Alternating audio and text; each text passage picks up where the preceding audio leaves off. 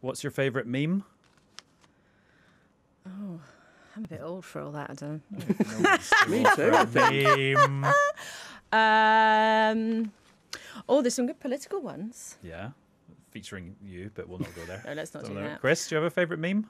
Well, I quite like. I mean, I know it's used a lot, but that that one of the couple walking down the street with the bloke. Oh, yeah. over his shoulder at, a, Oh, at a woman who's yes. just walked And past didn't Matt him. Hancock have the same shirt as the guy the other day there? Oh, I don't Oh, he. Yeah. did, I think he did. Yeah, he did. He did. As me- memes collide when memes when memes collide. When memes Um, go bad. That Yeah, sounds I think one of my favourite ones is the uh, is John Curtice on TV one. Yes, heroic. And memes have collided tonight on Newscast because John Curtice is on TV on Newscast. Hello, Professor Sir John. Hello. You're not a big fan of that thing, are you? I can tell. no, Sorry. no, no. I, I, I mean, I mean, I don't, I don't follow it. I mean, it's all good fun, but you know. Um, Well, um, it- so- so- 11.9 thousand people follow it, Sir John. Well, well, well, you know, so you know, you know, th- that's all fine. Um, but anyway, I mean, I, I, to disappoint people, uh, I'm afraid I don't follow it. So you can carry on saying what you think because for the most part, I don't know what you said. And there are no trolls on Newscast because we love what you've got to tell us about the incredibly complicated elections that we're all going to be reporting on next week. So thank goodness you're here. Thank goodness John Curtice is on TV. Newscast. Newscast from the BBC.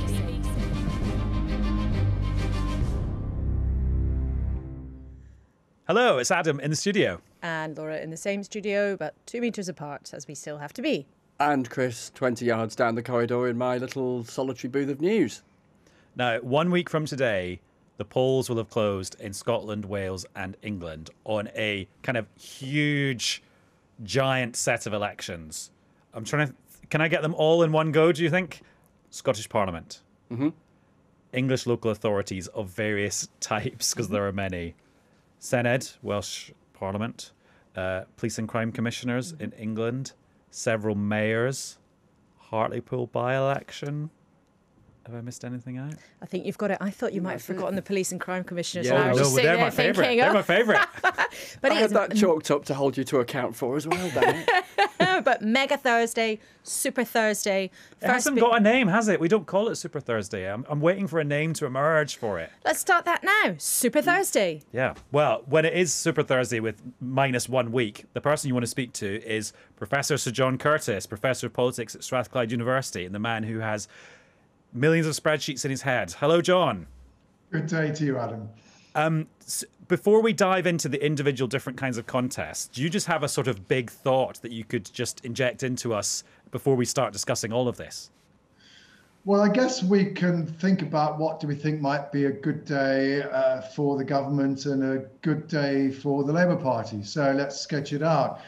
A good day for the government will be that the eight point or so lead that's currently in the national opinion polls is reflected in the results of the English local elections. That would mean probably net gain for the Conservatives in the, in those elections, or governments rarely manage that in local elections. Might hang on to most of the metro mayors, including the West Midlands. Uh, they then, perhaps above all, might just sneak the Hartlepool by-election. And meanwhile, north of the border, uh, Nicola Sturgeon fails to get an overall majority. The Conservatives hang on to second place and the UK government feels emboldened to try to kick the Scottish constitutional question into touch. Uh, conversely, what will be a good uh, session for Labour? Well, uh, to be doing an awful lot better in the opinion polls at the moment. Ideally, to be seen to be doing better than Jeremy Corbyn did in his first local elections in 2016, um, which at the time got a pretty lukewarm reception. But you know, a lot of the seats that were being uh, fought over in 2016 are being fought over again this year. That Labour in Wales managed to get an overall majority with 31 seats. They hang on to the Hartlepool by-election. Oh yes, and they managed to come second in Scotland. Probably neither party is going to manage to bag all of those wins, but that's probably what both sides ideally would like to see us being reporting. Not, of course, on the Thursday night because there are very few mm-hmm. overnight counts, but rather by the time it's all over on the Sunday after the election. Well, I was going to say you've just done in three minutes what it will take about four days of results to achieve. Yeah, we'll have Super Thursday, Super Friday, Super Saturday, Super Sunday with Super Sir John from Strathclyde all the way through. and then knackered Tired Monday. Monday. Yeah. yeah. John, can I ask you a question about, about Scotland and how things are shaping up there? It's entirely self-serving because I'm coming to Glasgow tomorrow for any questions, so I need to bone up. Um, and I just wonder how things are how things are looking. And then I guess the crucial question that we always tend to ask at this stage in an election campaign: i- i- Is there any evidence that the campaign's made any difference to the relative position of the parties? Yeah, I think the answer to that is Chris. Well, we started off this election campaign with the SNP probably at 50% or just below on the constituency vote. Of course, you know, we have two votes up here. It's a bit more complicated than you have down south. Um, and running at, you know, 40% or so uh, on the list. The truth is that those numbers seem to have come down somewhat. And that whereas if you'd asked me at the beginning of this campaign to predict what the, the uh, outcome would be, I would give my usual answer of, well, 50% chance of the SNP getting an overall majority and 50% not. I think I would say the. I would say the odds on the SNP getting an overall majority, they're still there. They've still got a chance, but they have probably lengthened. The other thing that certainly happened during this campaign is Anas Sarwar, the relatively new Scottish Labour leader, has certainly got a good press and he's got now rather more people in Scotland thinking favourably of him than unfavourably. And Labour seem to have made a bit of progress in the polls, although crucially for them, they still trail the Conservatives on their list vote, that other vote. Um, and it's that vote that's probably going to be crucial for determining which party is the second largest um, in the Holyrood Parliament. Thanks, John. I was taking notes then. with his quill. Um, now, Laura, I was just thinking today, it's like, why are we not talking more about what the result of the Scottish Parliament election might mean? Because it could be completely, completely seismic, but not completely seismic right there and then. Well, that's right. And it depends, as John's been explaining, exactly how it falls down. Because there will be an almighty row, even if the SNP does get what they would really prize as a majority on their own. Mm. There'll then be an almighty row about whether or not that does really give them a mandate to hold another independence referendum. Certainly, they will have the right to ask for one. But remember, the legislation is there that the UK government does have the power to say yes or no to having another referendum. It's not in technically the Scottish Parliament's decision making, mm. right? So, the, so if you if you think about it, I know there's been huge attention on this, but if they get that majority on their own, that doesn't mean there's going to be an independence referendum. There's going to be an almighty battle about whether or not there's going to mm. be an independence referendum. Remember, even the SNP themselves disagree over when the right time to have one would be. So, well, yeah, you can say, oh, it would be seismic if they get a majority on their own, especially because Holyrood is set up almost specifically to make it really hard for any one party to get a mm-hmm. majority. Mm-hmm. The one doesn't automatically lead to the other, despite what the sort of narrative sometimes has been. And if anything, actually, as Sir John was saying, you know, the SNP appear to have been slipping back a little bit in the mm. last few weeks. So what felt, I mean, sorry, it's a very long answer, but I suppose in Westminster, people kind of uh, were starting to assume, oh, this is a kind of unstoppable drift towards independence in Scotland.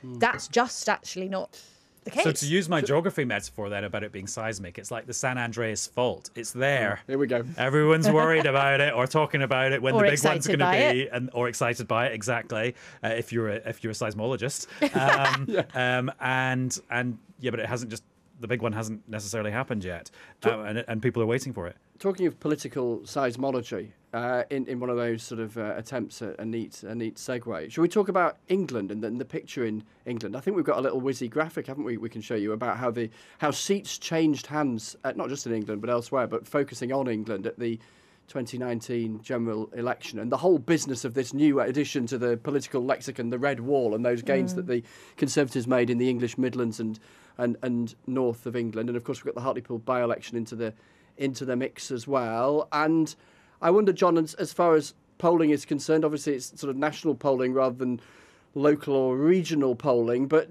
what the evidence looks like as far as the polls are concerned, as far as this this, this battle for this territory that for so long was Labour, and now the Conservatives feel that they've got a, a bit of purchase on.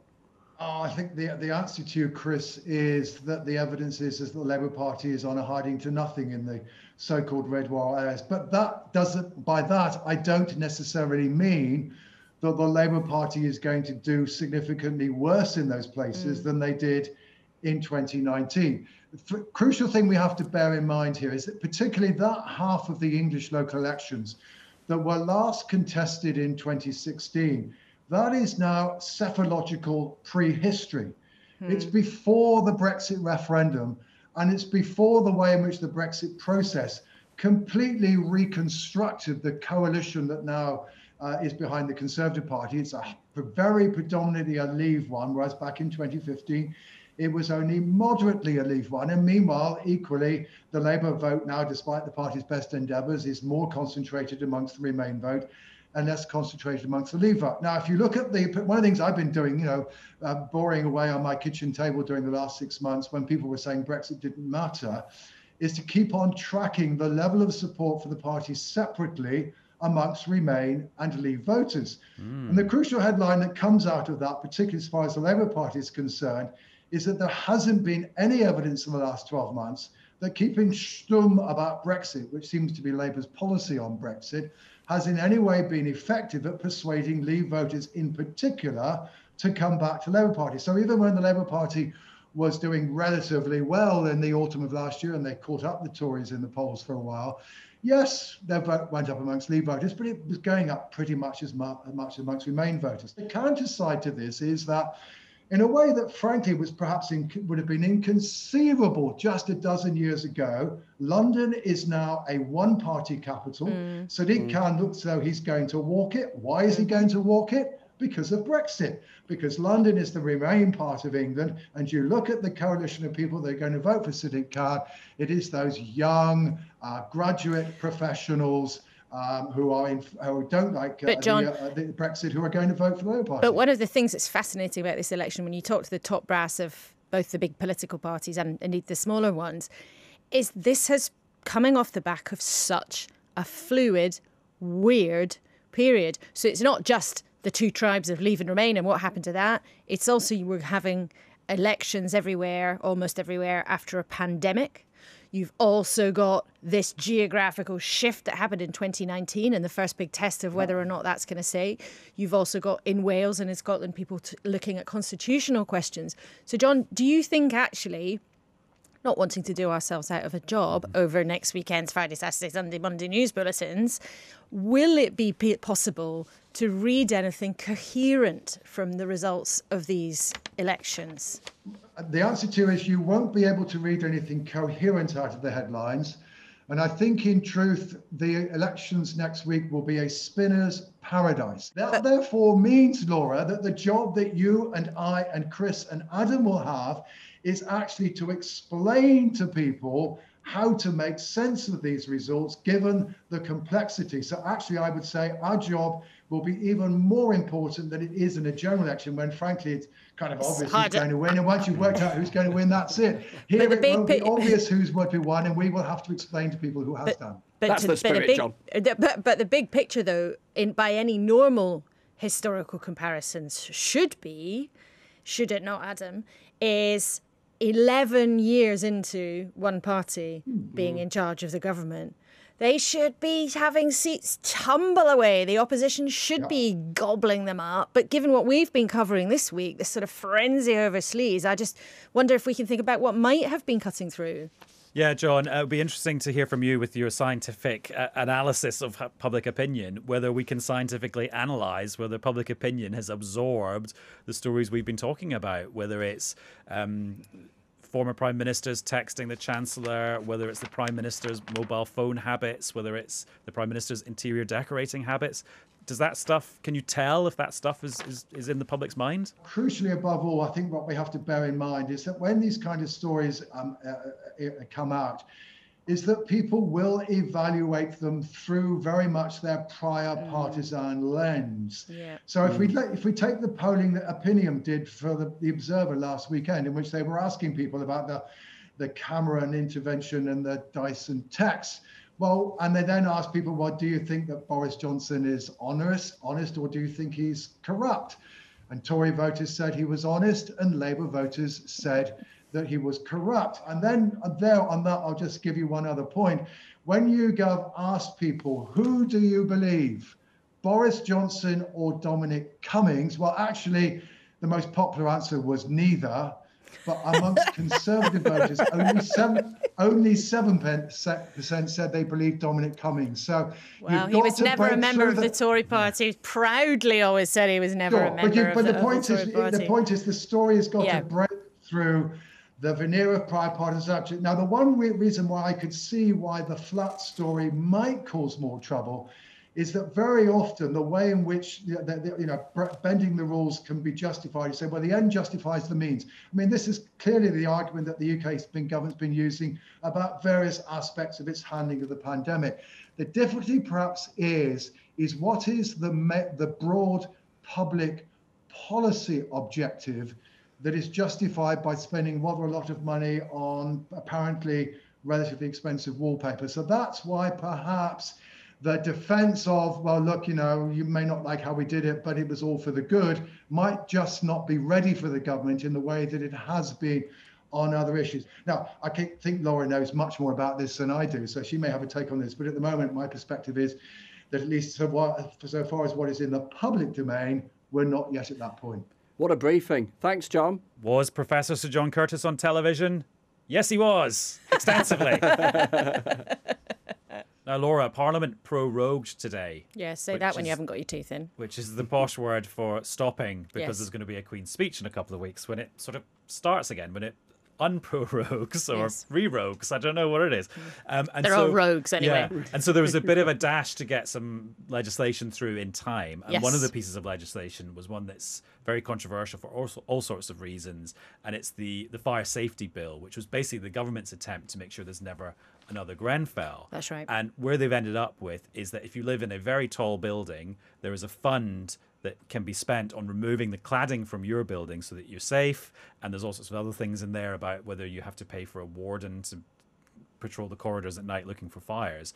But some people are very, very angry that they've been left out of this legislation. That's right. So the fire safety bill was aimed at making homes safer after the awful, awful tragedy in 2017 when more than 70 people lost their lives.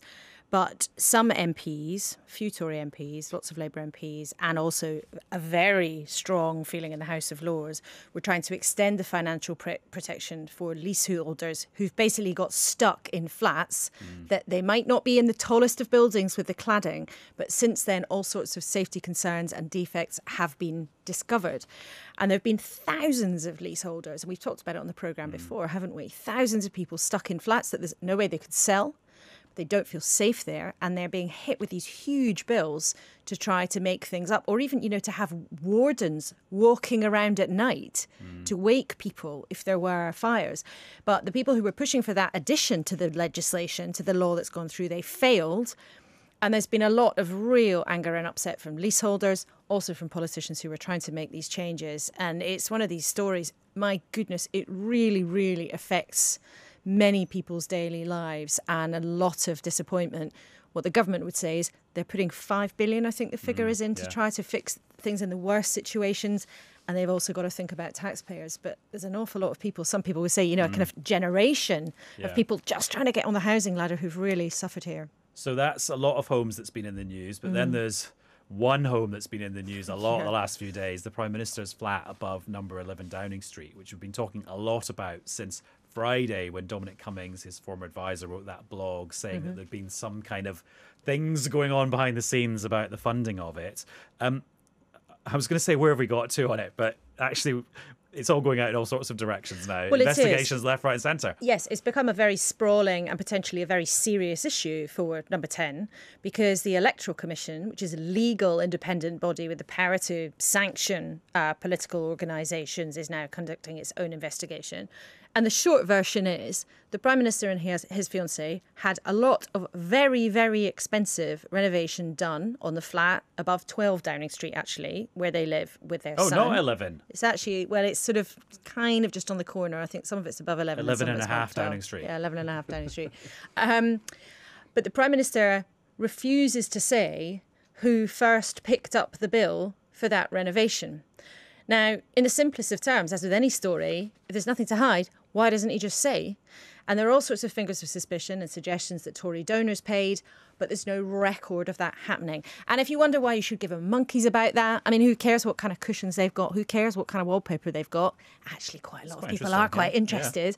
But the point is, politicians are meant to declare any cash or loans or anything they get. So we know all what they get up to, right? Mm. Politicians aren't meant to be beholden to any funders. So in this country, we've got a really clear system. If they get any cash, they have to tell us who they get it from. And he hasn't done that in this case so far. And what are we at now? Three confirmed investigations going on. So the Electoral Commission, Laura, as you mentioned, we've got Simon Case, the most senior civil servant in the country, doing his thing as well. And then this guy, Lord Geidt, brought in to oversee ministerial interests. And job number one in the in tray is looking into this. And then the possibility of the Parliamentary Commissioner for Standards getting involved because Labour have asked their, at last asked uh, them to have a, a look at it. But what I was struck by today was that Prime Minister on a visit to a school asked about it and was kind of repeatedly dismissive, really, in his language about the whole thing. Nothing to see here, a, a farrago of nonsense, he reckoned. Let's take a listen. I don't think that this is the, uh, the, the, the number one issue uh, for the people of our country. In- Indeed, uh, by several by several orders of magnitude, by several orders of magnitude, I would say what people want uh, the government to focus on now, which is uh, exactly what we're doing, is on education, crime, and all the other issues that really matter. But Labour are still uh, banging on about it, aren't they? Keir Starmer in Manchester uh, today and, um, well, having some fun with it as well. All he's got to do is answer a very simple question, which is who paid initially for the redecoration of your flat? Now, I'm thinking of people who are watching this. I think most people would say, if I had my flat redecorated, I'd be able to answer that question. Um, so the Prime Minister could actually end this now, tell us who paid for it in the first place, answer the question, take, about one minute, um, and then he could get back on with the day job. And where do you go, Laura and Adam, if you're a leader of the opposition and there's a whole row about interior decor? Where do you go for your photo op? Well, you go where there is allegedly a quote by somebody who's allegedly been to the Prime Minister's flat and said that they wanted to replace the John Lewis furniture nightmare that had been left by Theresa May. so you go to. John Lewis. And you pose for a picture. Oh, look, just casually looking at a piece of a roll of wallpaper, as you do. And I have to say, having been lucky enough to have a glimpse of the Downing Street flat when Theresa May was there, because we did part of our farewell interview there, and we it meant that we got a little bit of a look around. Whatever your taste is, it was immaculate and really quite plush and pretty comfy. And I didn't, well, anyway, if people have different tastes, but it was really quite lavish and, and, and fancy, but perhaps not to um, Boris Johnson's taste. Well, we're now joined on Newscast by an actual professional taste maker, I'm going to say. It's Celia Sawyer, the interior designer, who you will have seen on Four Rooms on Channel 4 and Your Home in Their Hands on BBC One. Hello, Celia. Hello. Celia, I'm glad I'm glad we have video conferencing software so I can see your beautifully appointed apartment. Very lush. Uh, yeah, I mean it's uh, it probably needs a refurb itself now. It's been a while since I've done anything to it, but uh, Does it? Why does it need a refurb? It looks pretty good to me. Well, I tell you what happens in your life is you get sort of a bit stale with what you've got around you, and it's really good and refreshing to sometimes just do something completely different again, and it makes you feel good. help out our, our newscaster who hears the numbers being thrown around, and we know that prime ministers can spend up to thirty thousand pounds a year of taxpayers' money on the flat, and think, blimey, how on earth do you end up ratcheting up tens of thousands of pounds of expense for a bit of wallpaper and a new sofa? Well, it, it's not just a bit of wallpaper and a new sofa, and we don't actually know, do we, or do we know exactly how much was spent? Uh, do we know? I No, we don't know. I mean, figures of up to two hundred thousand pounds have been bandied around, but we don't know if that really is true. I mean, I think we know it was sort of more than fifty thousand, but we do know that they hired somebody called Lulu Lytle from Soane, if I'm pronouncing that correctly. So, could you tell us and our viewers and listeners a bit about that kind of her designs and the sort of cachet that she has? Um, I don't actually know her at all, and I don't. Burn. I don't know her at all, and um, I don't know her work. And I've I've seen some pictures, obviously recently, because she's been, you know, this has all been in the news, and it's not the sort of style that I would, uh, you know, do for somebody.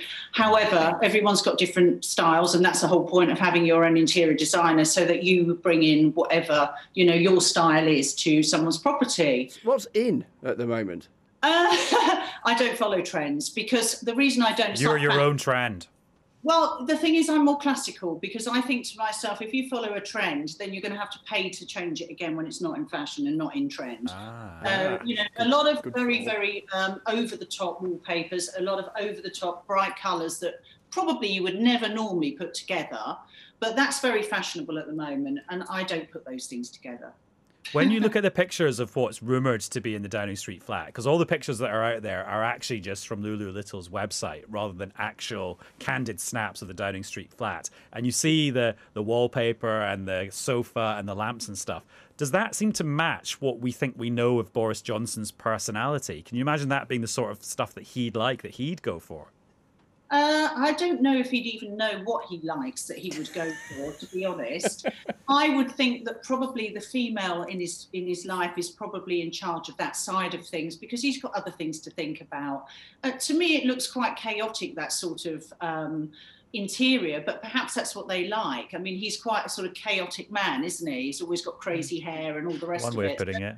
Quite yeah, quite a lot of people would say that Downing Street is quite often likes having a bit of No. chaos around. So maybe that was the design theme. Now, Laura has reported on politics for what, 20 years now, would you say? I thought you were going to say And- 100 years. 120 well, no that's just what the last five years feels like and you've got a bit of a theory haven't you that basically there's an there's a Yes. wallpaper connection in politics every couple of years Yes. So a very prominent Labour figure had to got into big trouble for spending huge amounts of taxpayers' money on wallpaper. Pop Mm-hmm. quiz question, Chris, are you paying attention? Who is that? Yeah, it was the uh, uh, former. Hang on a minute, his name's gone out of my head, and I'm going to get it, and I'm going to get it. And I'm, Derry Irvine. Derry Well Irvine. done, Lord well done. Irvine. That was all very embarrassing for New Labour at the time. Nearly for me Then, then. then of course, George Osborne, pop quiz question, Adam has connections Ah. with. Osborne, Osborne and and little, Little. wallpaper Exactly, the Chancellor, and a very prominent figure in the Tory party for a very long time. Uh, and then now we have this around wallpaper. So, what is that about? What does wallpaper represent in our national imagination? Or maybe I'm just being a weirdo by even having this thought. i mean i don't even have wallpaper in my flat Well, maybe bare walls. Is maybe you're not wallpaper on itself trend. coming back in? Wallpaper's been in and never really gone out. It's Oh, just right. we've got texture, we've got colours, mad colours, big birds, all sorts of weird and wonderful things coming, and that's what happens. You know, it just evolves as does fashion. You know, it's just one of those things, but it's never gone. Actually, see, I'm glad you're here because I've got a bit of an interiors question at the moment. Um, oh. Because I just bought a new armchair a few weeks ago, which I've mentioned a few times on this podcast, and I love it. And oh, on a sunny day, just sitting there all curled up with a coffee and a paper, it's brilliant. But um, I need a magazine rack, and I just cannot find a nice magazine rack. Magazine racks, really? Well, most people don't read magazines anymore, so that's probably why they're not around. Unfortunately, You're just I- saying Adam's off trend, aren't you, Celia? Yeah, he is. You're right. I also bought a new rug the other day there for the living room, which I'm quite pleased about. But then sometimes I think it just doesn't go. So actually, I might send you a picture of it just to get your verdict of whether it just once and for all whether it does actually go or not. Celia, just before we go, doing my due, due diligence as a journalist on your website, you say clients include pop stars, politicians, actors, actresses, sporting personalities, high net worth business people in the public eye. Did Boris Johnson approach you to come and do the refurb? Unfortunately, not. Okay. If he had, it would have looked very smart. Well, he gets 30 grand a year, so maybe he'll call next year. After seeing you on, on Newscast and seeing your beautiful flat behind you. Let's hope so, hey. Thanks, Celia. Thank, Thank you. you, Celia. My goodness, I always learn a lot on newscasts, but this week I feel like I'm learning more than most. I wonder if, you know, I mean, this studio is looking better than it did a couple of years ago, but maybe we need a refresh. Hmm. It's looking Celia very- said that's how we make ourselves feel good, is have a refresh every now and It's again. looking very Brexit era in here, actually, isn't it? definitely, When yeah. we first started doing this. This feels Yeah, this things feels have changed a lot since then, you Feels know. What awfully 2020 in here. Tell you. dear. I suppose actually, if we have a priority, it would have to be Chris's little cupboard, wouldn't it? Yeah. Yeah, definitely. Well, it's been a joy being part of the broadcasting furniture on the BBC this evening. Thank you very much for watching and listening. We'll be back very soon. Bye. Bye, everyone. Bye. Newscast. Newscast. Newscast from the BBC.